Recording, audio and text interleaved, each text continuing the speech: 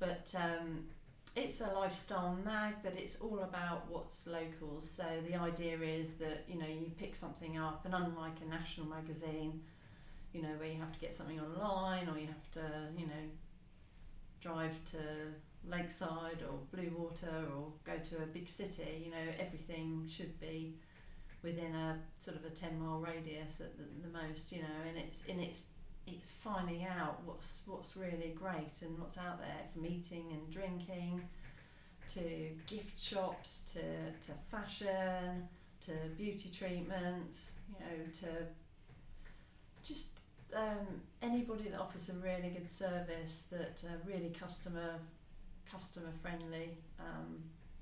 and we just feel that it's up to us to celebrate what's great and what's on your doorstep